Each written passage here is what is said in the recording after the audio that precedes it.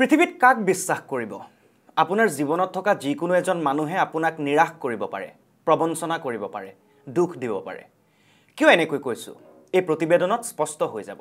নমস্কাৰ মই নাজিৰ আহমেদ আপুনি চাই আছে খাটাং খবৰ। নিৰ্বাচন। ভাৰতীয় জনতাৰ জীৱনৰ যেন একেবাৰে এৰাব নোৱাৰা এক অংশ নিৰ্বাচন। কাৰণ নিৰ্বাচনৰ জৰিয়তে আমি বাছনি কৰোঁ কোনে লাভ কৰিব শাসনৰ বাগজৰি আমাৰ জনপ্ৰতিনিধি হ'ব কোন? নিৰ্বাচনৰ জৰিয়তে আমি চিনি পাওঁ মানুহ। নাচে গানে চলে প্ৰচাৰ। সকলোৰে লগতে থাকি কাম কৰি যাম বুলি প্ৰতিশ্ৰুতি দি জয়ী হোৱা বিধায়ককো কেৱল টিভি আৰু মোবাইলতহে দেখা পোৱা হৈ যায় জনতাই। নিৰ্বাচন আচলতে চিন্তা আৰু বিশ্বাসৰ খেল।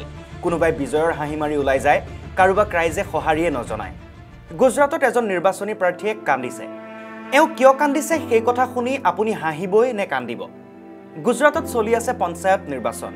গুজৰাটৰ বাপি জিলাত চাৰৱালা গাঁৱৰ মুখীয়া পদবীৰ বাবে নিৰ্বাচনত অৱতীৰ্ণ হৈছিল সন্তোষ হলপাতি নামৰ এইজন লোক। তাৰ বাবে তেওঁ জোৰদাৰ প্ৰচাৰো চলাইছিল। দলে বলে মানুহ লৈ গৈ দাখিল কৰিছিল মনোনয়ন। কিন্তু ফলাফল ঘোষণাৰ পাছতেই এনেকৈ কান্দোনত ভাঙি পৰিল সন্তোষ। কাৰণ সন্তোষে পালে মাত্ৰ এটা ভোট। সেইটোও নিজৰ। আটাইতকৈ দুখ লগা কথাটো হ'ল সন্তোষৰ পৰিয়ালতে আছে বাৰজন ভোটাৰ। তেওঁলোকৰ এজনেও সন্তোষক ভোট নিদিলে। নাকান্দি সন্তোষে কৰে কি? সন্তোষৰ মতে পৰাজয়ৰ বাবে তেওঁৰ দুখ লগা নাই। দুখ লাগিছে কাৰণ তেওঁৰ পৰিয়ালৰ এজনেও তেওঁক ভোট নিদিলে।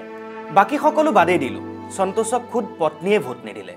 পৃথিৱীত কাক বিশ্বাস কৰিব কওক?